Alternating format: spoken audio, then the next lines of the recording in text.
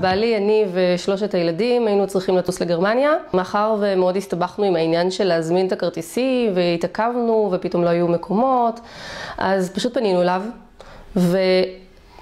באורח פלא הוא פשוט uh, עשה קסמים ומצא לנו גם את הטיסות בזמנים שרצינו וגם במחירים שהיו נוחים והיה נפלא.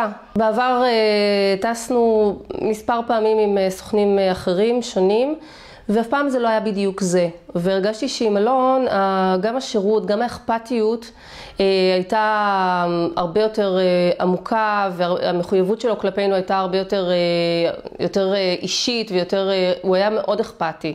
ואני חושבת שזה עשה את ההבדל. הוא בירר את הצרכים בצורה מדויקת, ולפי זה הוא בנה את התוכנית טיסה. אני מאוד ממליצה לאנשים שמסביבי לפנות לאלון ולעשות איתו את כל התכנוני טיסה. יש לו גם המון ידע.